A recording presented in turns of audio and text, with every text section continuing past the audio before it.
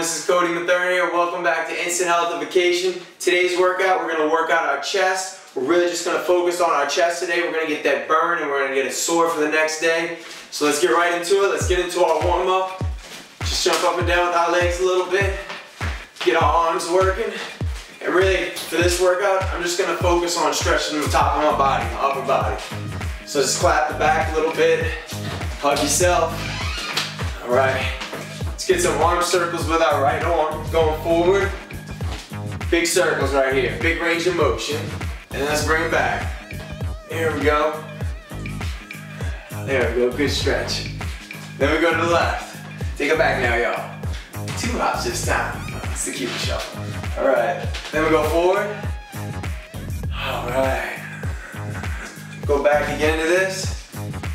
Now, right here, I'm gonna cup my shoulders forward, squeezing my hands together, like such.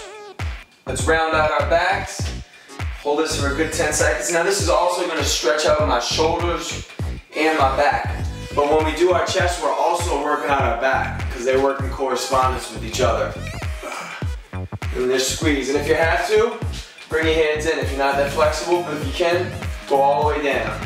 Nice squeeze. And let's go back. It's raining outside today, which is a perfect excuse to stay inside and get a good workout. Here we go, and let's go back. Just like that. Whew. And since I am just focusing mainly on my chest today, this warm-up's really quick.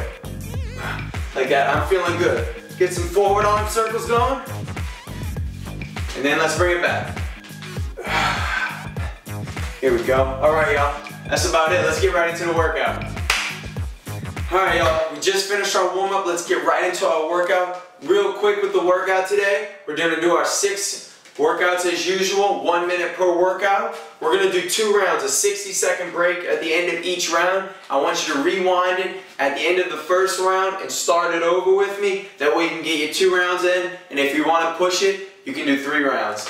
Now this is gonna burn, but it's a good burn. It's the burn that we're looking for. And as always, make sure you have some water with you to stay hydrated. So the first workout we have for you today is push against the wall. Find a wall, set your clock for 60 seconds, and you just wanna push. And right here, you're just gonna feel that tension all throughout your shoulders and your chest. It's like somebody's trying to come in, trying to get to you right now. So you just wanna push against the wall, keep you from coming in. Right here, I'm in a good lunge position. Back leg right here is pushing against too. So I'm not just using my chest only. If you want, you can switch it up. Keep them out, keep them out. I'm just kidding, coming in. You get the point. See, see how my arms are shaking right now? That means I'm really putting some tension on the wall. And that's what I want. I'm fighting for dear life right now. Keep it going, we're almost there. Here we go, almost there. Five, four, three, two, one. Oh, a few more seconds. Ah. All right, that's a good start. Next one I have for you. So a lot of these workouts we have today are gonna be isometric. We wanna switch it up, we wanna trick our, trick our body. Because if we keep doing the constant same thing, our body gets adjusted and we don't see results. So the next one we have for you here is our wide push-ups. Just like the other one, we're gonna stay in a constant, just stay right here. We're just gonna hold it in a nice isometric hold here. 20 seconds like this. Everything else is hurting on you, but you're focused. See how we're doing. Looking at a 45 degree angle to the ground. All right, let's switch it to a regular grip push-up. Here we go. You wanna go halfway down, elbows in, looking forward. If you have to, go to your knees. See me right now, but now I'm jumping back up. I'm already feeling it. It's burning bad. Three, two, one. All right. From there, we're gonna go to our close grip push-up. Right here, squeeze tight. You wanna make sure you're about halfway down too. Elbows in. Keep that chest tight. Squeezing it. And breathing. Stay focused. Look, I'm dropping to my knees. It's starting to burn. We're almost there. I'm getting back up. Five, four, three, two,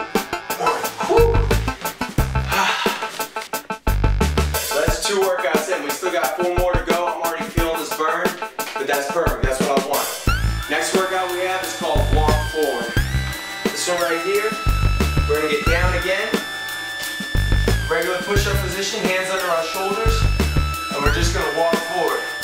We're gonna go one, two, three, four. Let's go back. One, two, three, and four. Key to this workout, make sure your elbows are straight, make sure your butt's tight, and make sure that you keep your legs straight the whole time you're doing it. I don't wanna go like this. I wanna have my hands under my shoulder the whole time. If you have to, get to your knees. It's gonna be harder with your knees though. Some plates under your feet will do good too. Some paper plates, they'll slide easy. Here we go, almost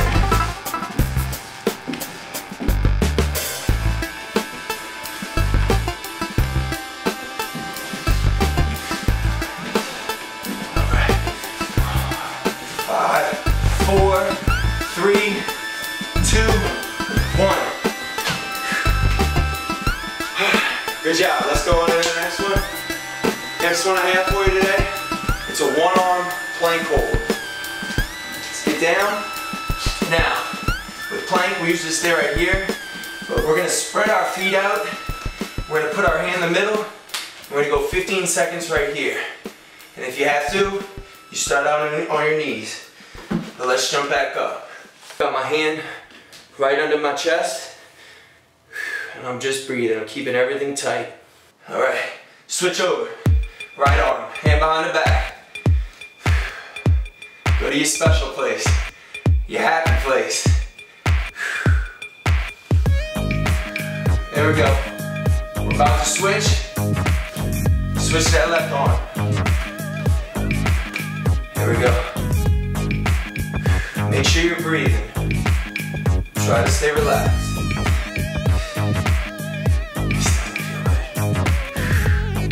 Switch it. 15 more seconds. Just like this. This is where you push it. Stay focused. Don't give up. You're almost there. Five, four, three, two, and one. Alright. We're gonna do a one-sided push-up.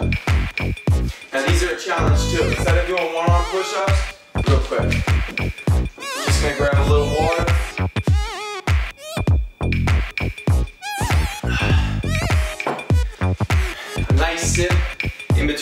Can make the biggest difference. So if you need to take that sip of water, take it. So right now we're gonna do our one-sided push-ups. Get down again. All right, hands wide, go one side, and I'm creeping over the other. Here we go. And the key to this is you really want to put all the weight on one side. We're focusing on one of our, each one of our chests. And it kind of gives the other arm a break. If you have to, get down to your knees. I have to. I'm struggling right now. But I'm gonna keep going. We're almost there, we're halfway there. If you have to stop, you stop. Then you get back in it. There we go.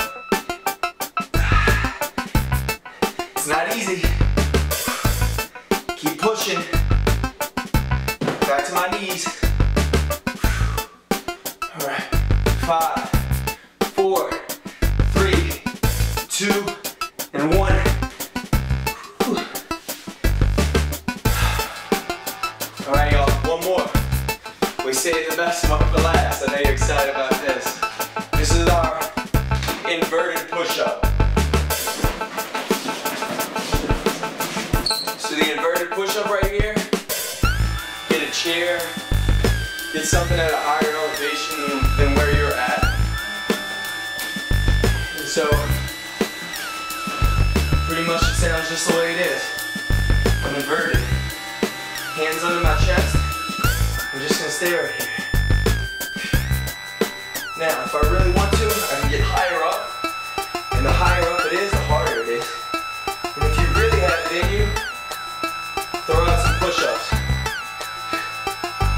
There you go. Stay focused. See me, I have to take a quick break, and I jump back in. If you have to, I find that this is a good way to take a quick break, give the chest a break, and then you get back into it. Remember, keep my butt tight, my abs tight. You can see my arms shaking. I get a few more push-ups in.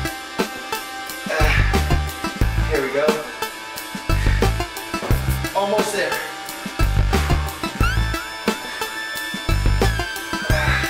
How am I doing? Five, four, three, two, and one.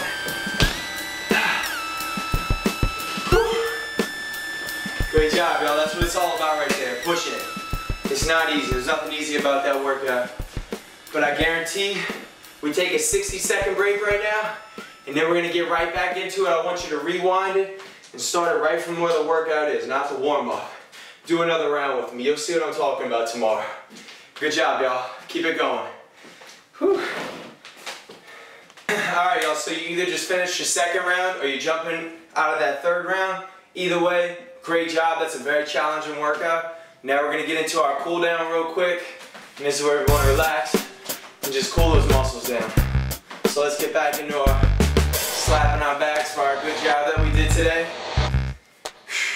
Breathing. Right, for this one, open up my door right here. It's a nice easy chest stretch. Put my hand, and I'm just gonna let it stretch. And I can keep this here for 30 seconds or so if I want, just to really feel. You see how I'm moving?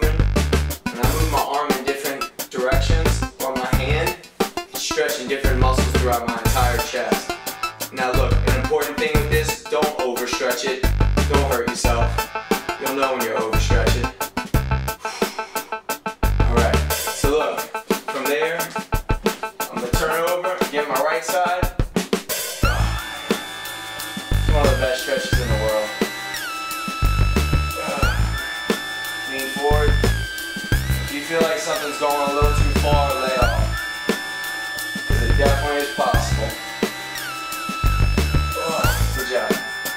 For this one, I'm gonna get back into this nice back circled out like this, puffed out. Hands together.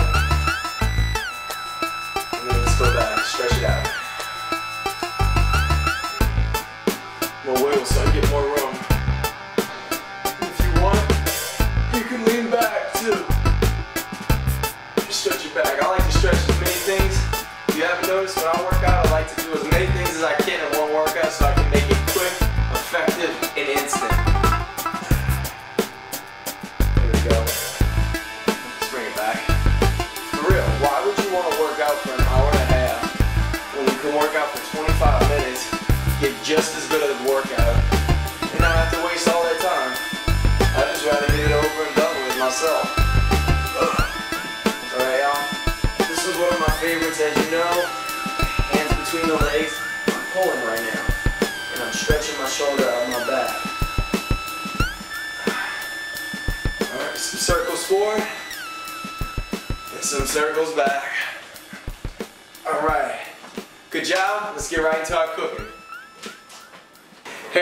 welcome to Instant Healthification. So for today's recipe, we're going to be doing something for you. We're going to be making a chicken piccata, which is a lemon-based sauce, and we're going to be doing it over a sweet potato spaghetti and roasted asparagus. Now most people would use regular spaghetti, but we want to lay off the carbohydrates, so we're going to give you something different, a little healthification here. We're going to use some sweet potato. But before we get into that, let's clean our hands, because we know that the key to healthification is sanitation. So let's just do a quick clean right here. Especially after a workout. Hopefully you've taken a shower, but if you're like me and you want to get your meal in real quick, just clean your hands and get the basics done. So real quick, just a few things that you'll need for this recipe. I got some chicken right here, boneless chicken. Got my sweet potato, asparagus, extra virgin olive oil. We have some capers. Now we have lemon, and we have garlic powder, we have black pepper, some salt, got my water boiling, I got my two saute pans here, and you will need a little bit of all-purpose flour, some clear wrap, and uh, I'll tell you what this is in a second, you might not have it, but there's a lot of options with this, and uh, something to shave the sweet potato down. Alright, so real quick, what I want to do first is, I want to take my sweet potato, I just like cleaning it off real quick, get all that dirt off, because you know, you know right, once it comes from the farm, you don't know what they got on that stuff. So, I'll take my peeler real quick, got a plate, and I'm just going to peel my potatoes. And I don't know if you saw me on another video when I did this, if you don't have a peeler, there's another option you can do. Take your knife, be safe when you do this, and you can just slice it off. Now it's gonna take longer, but um, it's just as effective. Nothing wrong with that. Alright. Sweet potato is one of my favorite foods still. I don't know about you. But look, let's say you're not big on sweet potato, and you want to do something different, you could use a regular potato. You could use, what else? Use something hard, because we're going to be making this into a spaghetti, so you don't want something that's a soft vegetable, and when you peel it and you, you make your spaghetti, it's just going to like wither into nothing. Alright, so I got this out the way. Now, let me show you this cool invention that I picked up. And you can get this from Bed Bath & Beyond. Let's cut the edge off right here. Now this thing right here, this is the Veggetti. And uh, in case you didn't pick up on the name Veggetti, so it's vegetable spaghetti. And it's really simple. Just put it in here, and look, you just turn it. And that's that. And look at that. now we got ourselves some spaghetti.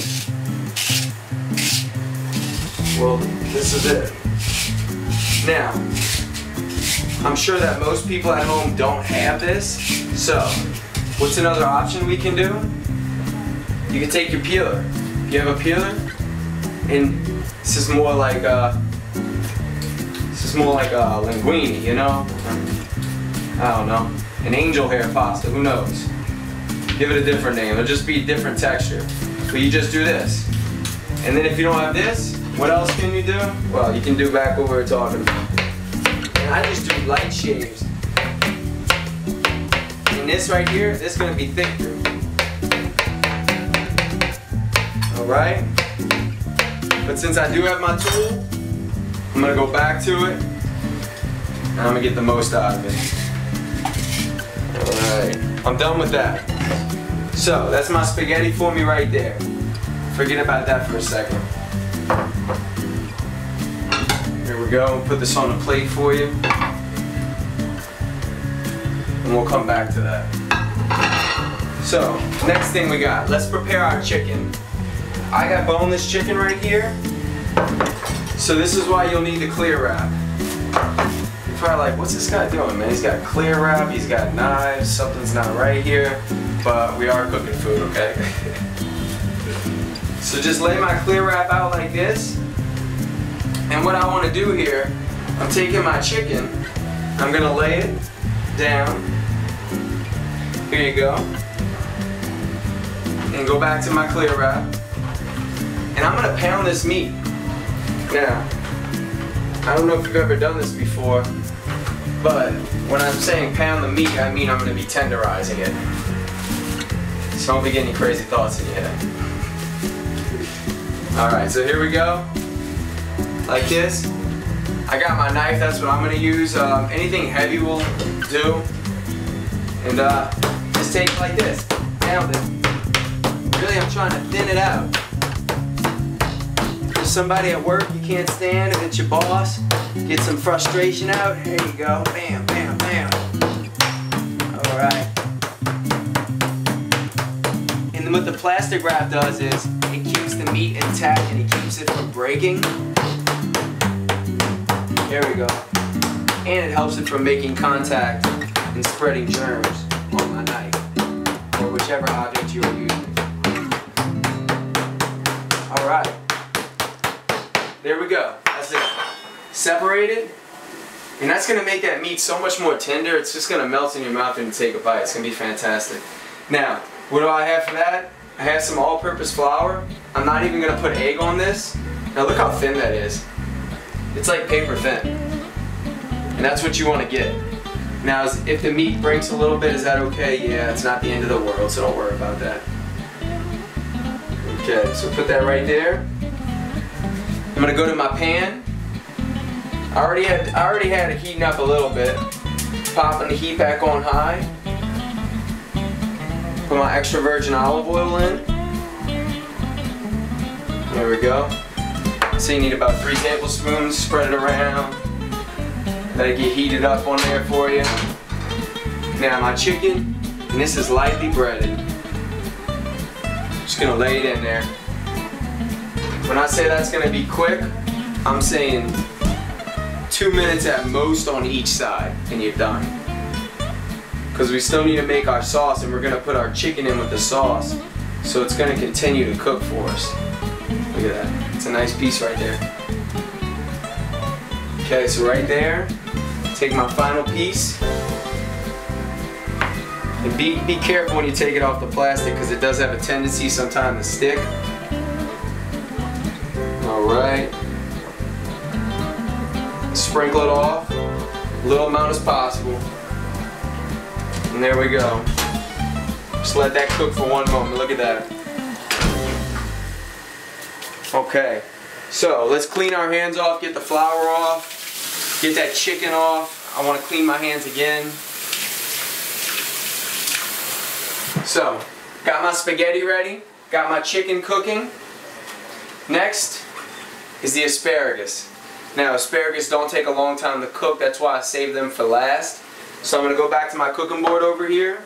And since I did have my chicken on the plastic wrap, I'm not worried about using this cutting board again because the chicken never made contact. So what do I do? I like to cut off about an inch off the edge of my asparagus. It's usually the white parts. I'm gonna be quite honest with you. I don't really know why I always see that or why I've always done that. Personally, I think it gets more fibrous at the end and it's really hard to chew. And it's just not as clean of a flavor. So that's why I think you cut them off. But um, you should test it out and see what you think. So I'm gonna get my other pan rolling right here and this is gonna be for my sweet potato spaghetti. Throw my asparagus, my water's already boiling. Got it on a high boil. And that's gonna take about two to three minutes on the asparagus. Not long at all. So chicken's cooking. You might wanna get a spatula or something like that to flip it over with. Go back to my normal ways. Yeah, there we go. And you see how it's already getting white? That's a sign that it's all, almost done. When you're cooking chicken, pork chops, a lot of white meats. Once the meat goes from that beige color, I'd say, to a white, then you know that the meat is done cooking. Especially since this is so thin. Okay, so next step for us, we need to make our piccata sauce. Now, so for the sauce, we have olive oil, the capers, the lemon, and we have our garlic, pepper right here. And I didn't want to season up my chicken too much because the sauce itself is going to have a lot of seasoning, so we don't want to overdo it. So this chicken right here, I'm happy with it. Just take it off, right there. There you go. Ooh, look at that, see? So thin it fell, but that's all right. We're not worried about that. So I'm gonna drop the heat down to a low heat. And the reason I'm dropping it down to a low heat, all this stuff that we cooked the chicken in, that's all flavor right there. So we, we want to keep that flavor. And we don't want to burn it. I got my whisk. Get some of my flour. And look, the very important thing when you're doing this, you just sprinkle the flour in, very little. Very little flour. And really what we're making here is a roux. And roux is a base for our sauce. Yeah, there we go. So, what I want to do, I'm going to take my wine, my white wine, and we're using a Sauvignon Blanc. Any white wine will do. Woo! There we go. So that's about a third of a cup I just put in there white wine. Yeah. And that's deglazing right now.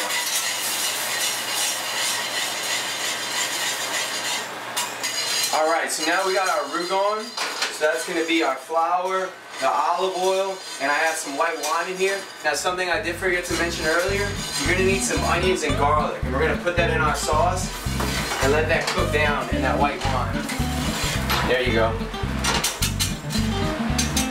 And it depends how much sauce you want. You know, if you're a person who likes a lot of sauce, I would say maybe put in a little more wine. A little more virgin olive oil. I'm putting some more garlic powder right here, just a dab, because I already have garlic in there. Some black pepper, just a pinch, and some salt, very little bit. Yeah, put that on a, a low heat, medium to low heat. Yeah, look at that. And me personally, I just want to add a little more white wine. There you go. And that white wine is going to cook off. So really we're going to have the flavor without the alcohol. But not as much. So if you have kids, don't worry, they're not going to get a buzz off of this. Alright, here we go. Now, key ingredient for this dish, capers. Capers have a lot of salt in them themselves, so I'm not going to put too many. Maybe about a teaspoon of capers and some lemon juice. Little secret, keep the lemon up, keep the seeds out. Yeah, there we go. And this is a lemon-based sauce. Just like that. No seeds, good to go. Uh-oh, one fell in. That's okay.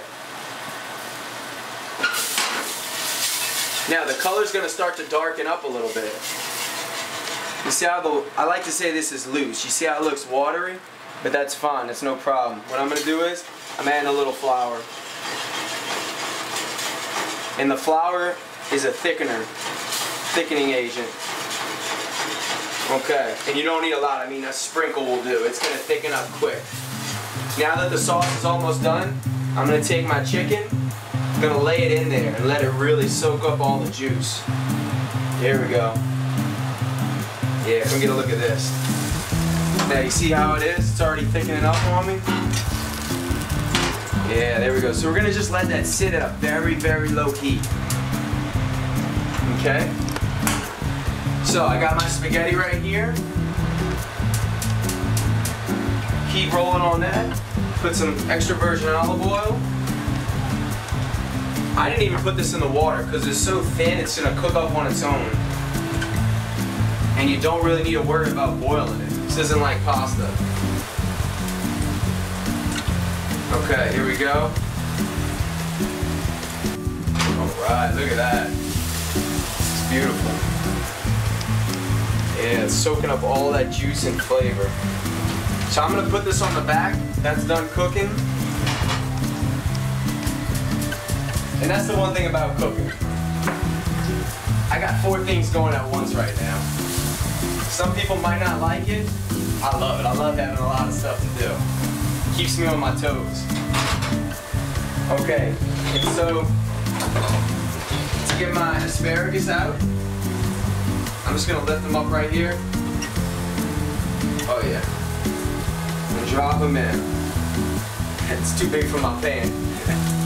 but that's okay because they're already cooked. The only reason I'm putting them in here is to get a char on them. And I'm putting just a dash salt, a little pepper, and my favorite ingredient in the world, lemon juice. I think I think asparagus with a char is one of the tastiest things you can have. There we go.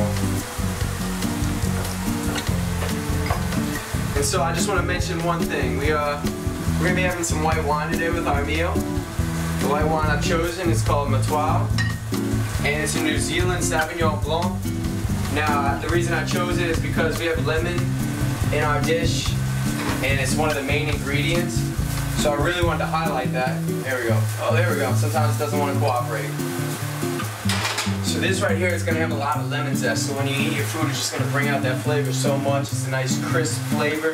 It's going to pair really well. And since we are having a white meat today, I think a white wine pairs perfectly with it. So uh, cheers. Oh yeah, good to go.